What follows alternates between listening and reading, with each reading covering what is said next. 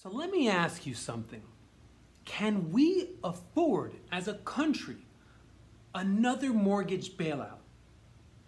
Think about this. We're, we're bailing everything out. We're stimulus packages, airlines and cruise lines are asking for bailouts. Uh, look, I lived through Delta Airlines. I worked there from 1998 to 2005, and 2001 was hello, World Trade Center, planes in the World Trade Center, and the whole market crashed. Uh, bankruptcy for Delta and for many other airlines and restructuring. I lived through that. I know what it's all about. I lived through the mortgage crash. I was in the mortgage business in 2008 and I saw all the bailout and was like, oh, you can't do that. Why are you bailing out these big banks and all this stuff? Well, guess what? Do you know how much we spent on that bailout? 191 billion, 191B, right?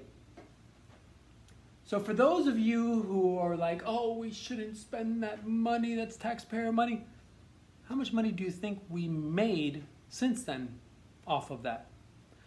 $301 billion in profit because the government has put Fannie and Freddie Mac in conservatorship, which means government run, government profiting 301 billion. So the government profited a ton of money off of doing that. Now we're trying to get them out of conservatorship, but now with this going on, who knows what's going to happen? Maybe more bailout. Maybe you don't need the bailout because they're already in there and it's already government sponsored. So can we afford another bailout?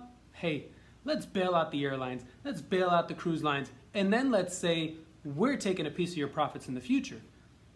Let's do the same thing. Turn 191 billion into 301 billion profit. I think we should do it. And actually, I'm going to show you flash on the screen here. The source, National Real Estate Post. Those guys are awesome. Always have good insights. And I watch them, try to watch them every day. But there you saw the stat that they got. And that's it. Phil Stevenson, Mortgage Nerd. Let's keep bailing them out because we need it and and we need it. Bye.